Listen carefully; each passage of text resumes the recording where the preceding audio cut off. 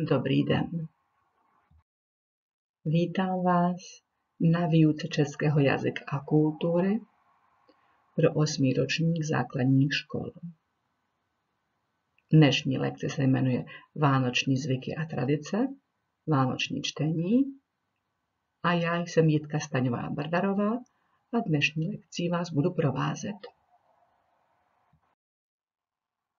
Na dnešní lekci se naučíte české hádanky o zimě, přečteme si text o sáňkování a budete ho moci vyprávět, dokážete popsat vánoční stromeček, zopatkujete si, kdo a kdy přináší dárky o Vánocích podle české tradice, dozvíte se, co je tradiční večeře na štědrý den, seznámíte se s českými vánočními zvyky dokážete uvést několik eh, pověr, které jsou spojené s Vánoci a se štědrým dnem, poslechnete si vánoční písničku a obohatíte si slovní zásobu.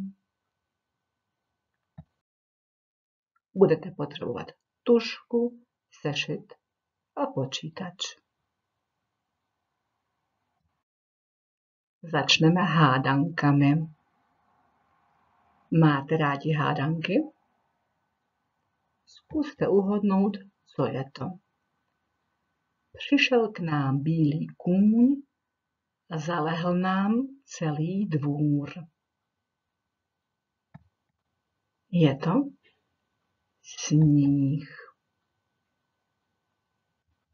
Nebo čtyři nožky, dva trnožky v zimě běží v létě leží. Jsou to sáně. Nebo přišel k nám host.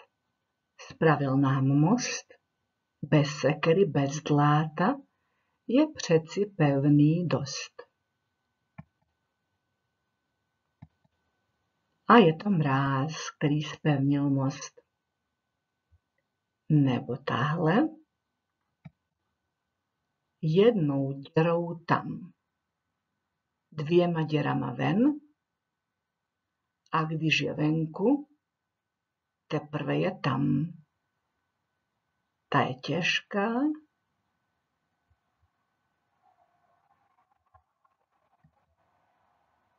a jsou to kalhoty. Doufám, že jste se pobavili. Jak rádi sáňkujete? Máte rádi mírný svah? Nebo radši příkrý svah? Jedete rádi pomalu nebo raději jezdíte rychle? Umíte brzdit, když chcete zastavit? A umíte taky rejdovat doleva nebo doprava?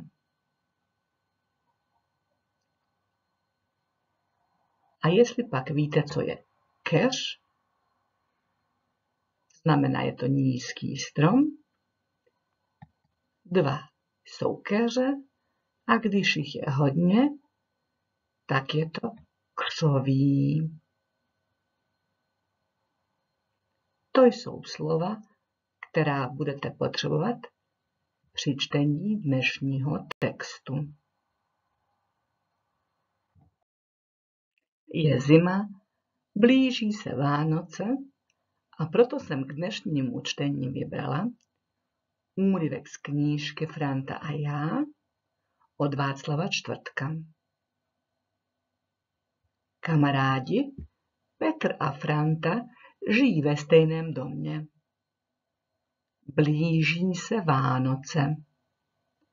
Chlapci přemýšlejí, co by chtěli pod stromeček.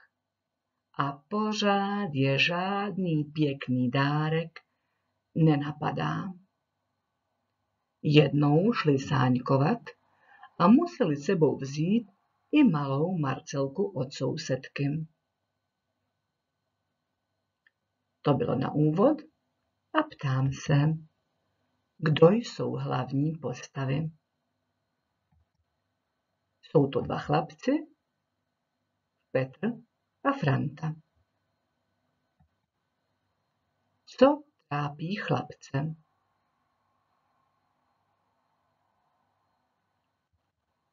Chlapce trápí, že nevědí, co chtějí k Vánocům pod stromeček.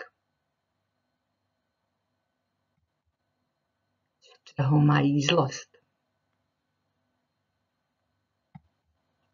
Chlapci mají zlost, že sebou na sáňkování musí vzít malou Marcelku.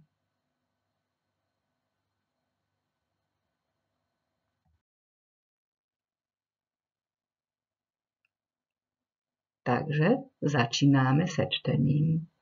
Úryvek se jmenuje Jak jsme s Frantou dostali pod stromeček stejný dárek. Došli jsme ke kopci. Z jedné strany je to správný příkrý kopec.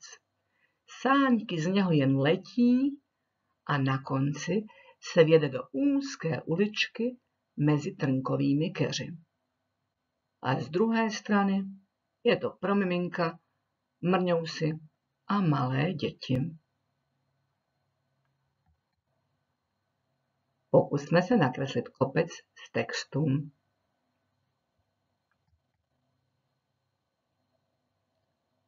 Takže na jedné straně je to kopec mírný a na druhé příkrý.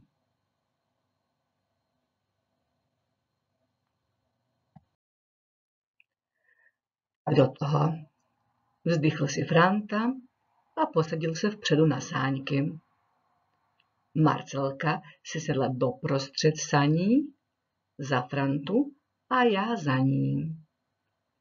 Sedmkrát jsme se museli odstrčit a odrazit a pořád to jelo strašně pomalu, jako pro zlost. Mrňousové kolem na sáňkách s ohrádkou křičeli, jako by pilotovali formuly. Ale šel dolů krokem nějaký pes a pořád byl před námi. Marcelce se to líbilo a já jsem si pro potěšení říkal. Všecko je podle maminky, dávám na Marcelku pozor, sedí ve prostřed mezi mnou a Frantou, vždy dáváme pozor, kam jedeme. Porozuměli jste textu? Odpovězte na otázky. Jak rychle jeli chlapci? Chlapci jeli pomalu. Co bylo humorné nebo směšné? Myslím si, že směšné bylo, jak spisovatel říkal, že šel dolů krokem nějaký pes a pořád byl rychlejší než oni tři na saních.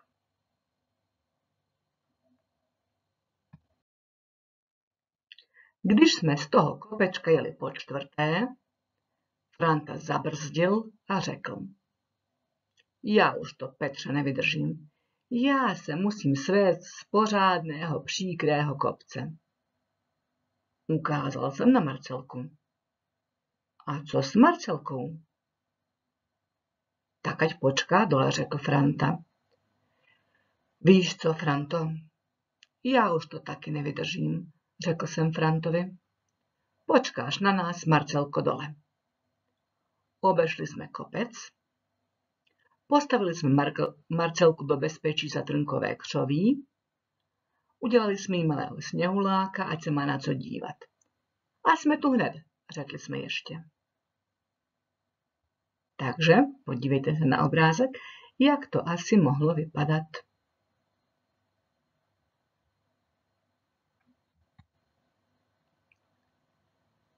Co chlapci nemohou vydržet? Nemohou vydržet jezdit pomalu na mírném kopci s Marcelkou. Co si přejí, co chtějí? Chtějí jet rychle z příkrého kopce. Co udělali s Marcelkou?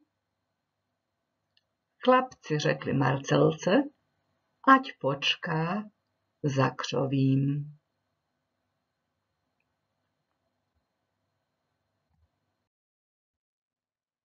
Popadli jsme s Frantou sáňky za provaz, proběhli uličkou mezi křovím a pak nahoru na kopec. Nahoře byl jiný výhled než z toho mírného mrňovsouského. Sjezdovka letěla dolů a jezdili po ní velcí chlapci.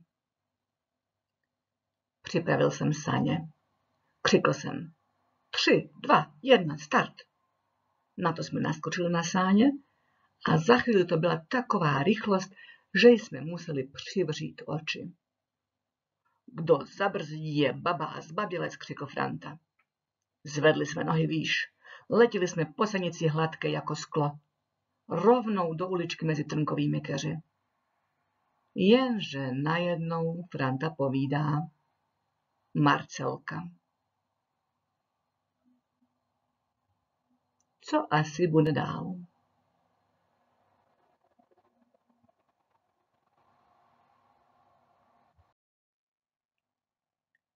Podíval jsem se Frantovi kolem ucha a vidím Marcelku uprostřed úzké uličky mezi trnkovými keři. Brzdi, křikl jsem, jenže jsem věděl, že tohle už nikdo neubrzdí. A letěli jsme do té uličky mezi trnkami. Rejduj, křikl Franta. Jenže napravo trnky, nalevo trnky, brzdili jsme oba pravou. A už jsme byli v trnkách. A pak jsme se všelijak sbírali. Neřekli jsme přitom ani slovo. Jen Marcelka řekla, je, protože Franta neměl pravou nohavici u kalhot a já zase levou.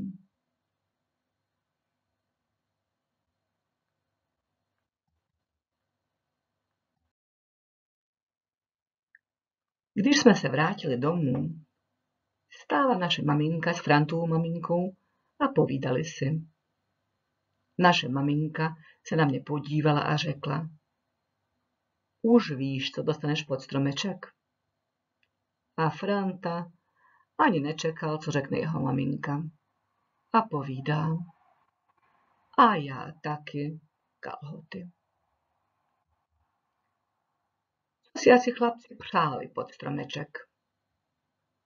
Mohli si psa, přát knížku, počítačovou hru, Lego, nějakou figurku nebo něco jiného. Ale dostali chlapci pod stromeček? Chlapci dostali kalhoty. Přáli si takový dárek?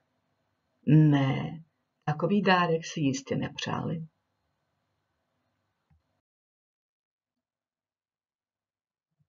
Pojďme se podívat na zpřeházené části našeho vypravování. Chlapci nevědí, jaký dárek si přát k Vánocům. Marcelka stojí v uličce mezi křovím. Už vědí, co dostanou pod stromeček k Vánocům. Nechají Marcelku pod kopcem. Chlapci jdou sáňkovat s malou sousedkou Marcelkou. Sáňkují na mírném kopci a jede jim to pomalu. Jedou rychle z příkrého kopce. Chlapci vjeli na saních do křoví a roztrhali si kalhoty. Chlapci nevědí, jaký dárek si přát k Vánocům je první věta. Teď si video zastavte a zkuste věty poskládat tak, jak by měly jít za sebou.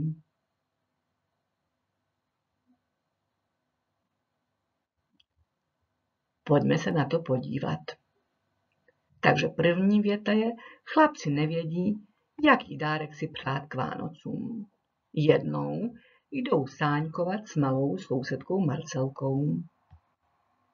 Sáňkují na mírném kopci a jede jim to pomalu. Nechají Marcelku pod kopcem a jedou rychle z příkrého kopce. Marcelka stojí v uličce mezi křovím. Chlapci vyjeli na saních do křoví a roztrhali si kalhoty. Už vědí, co dostanou pod stromeček k Vánocům. Doufám, že se vám tenhle příběh líbil. Zkusme uhodnout, kdo řekl následující věty. Vezmete Marcelku s sebou sáňkovat. Já už to, Petře, nevydržím. Já se musím svést z pořádného kopce. Už víš, co dostaneš pod stromeček? Je... Jsme tu hned. Já také kalhoty. Vezmete Marcelku sebou sáňkovat? Řekla asi maminka. Já už to, Petře, nevydržím, já se musím svést z pořádného kopce, řekl Franta. Už víš, co dostaneš pod stromeček, řekla maminka. Je, řekla Marcelka, když chlapce viděla v křovím. Jsme tu hned, řekl Petr.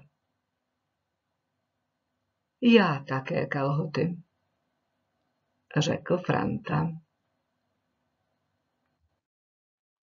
Dalším úkolem je zkusit nakreslit komiks nebo listy o osmi obrázcích. A zkus taky napsat, co o sobě říkají. Takže zastavte si video a zkuste ten komiks nakreslit.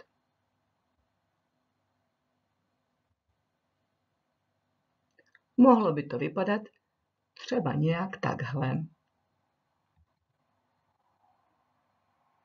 Franta a Petr nevidí, co si mají přát pod stromeček. Jednou musí jít s malou Marcelkou sáňkovat. Jezdí na mírném kopci velice pomalu. Tak pomalu, že dokonce i pes, který jde krokem, je rychlejší než oni. Chlapci to nevydrží, nechají Marcelku pod kopcem a jdou se svést z příkrého kopce. Ale Marcelka obejde křoví a postaví se do úzké uličky. Chlapci rejdují, odbočí do křoví a tam si roztrhají kalhoty. Už vědí, co dostanou k Vánocům. Oba dva dostanou kalhoty. Kdyby jsme tam měli připsat dialogy, mohli bychom při, připsat třeba já už to nevydržím, nebo Marcelko, počkej tady, nebo je, nebo už víme, co dostaneme k Vánocům.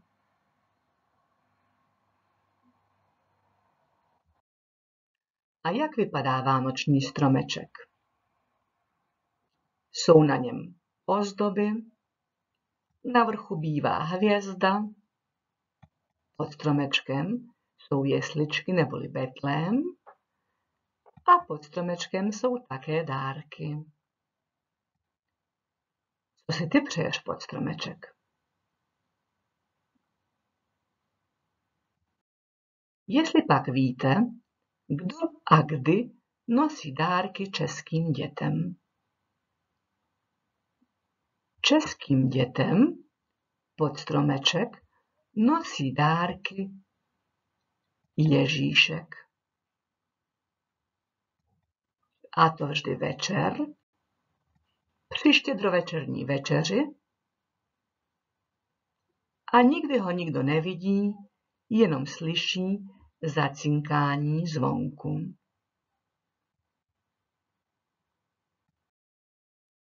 Štědrovečerní večeře je v české tradici vždycky smažený kapr a bramborový salát. A na stole taky nesmí scházet perníky a vánočka.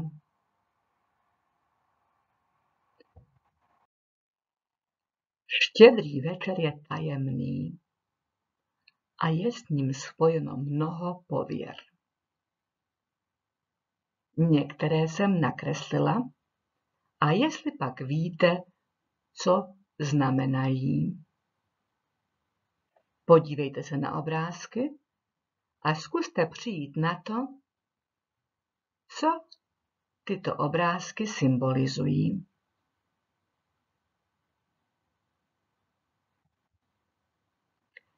Kdo na štědrý den postí až do večeře, to znamená, že nejí maso až do večeře, uvidí zlaté prasátko. Kdo chce mít v příštím roce peníze, ten si dá šupiny od kapra pod talíř při štědrovečerní večeři. Po večeři se překrojuje jablko. A pokud je v jablku hvězda, znamená to zdraví pro tu osobu. Po večeři se také pouštějí lodičky po vodě vyrobené z malé svíčky a ořechových skořápek. Čí lodička dopluje nejdál, ten bude nejdále cestovat. A dívky hází střevíc. Jestli střevíc padne špičkou ke dveřím, znamená to, že se v příštím roce vdají.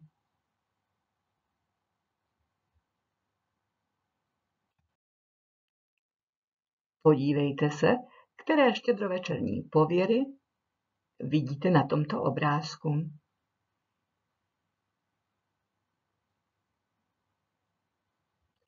Na odkazu dole si můžete poslechnout veselou vánoční písničku, ve které se také vypráví o štědrovečerních zvicích.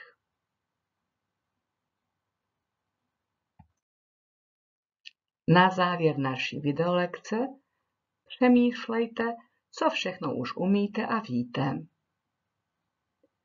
Dokážeš vyprávět příběh o sáňkování? Dokážeš popsat vánoční stromeček?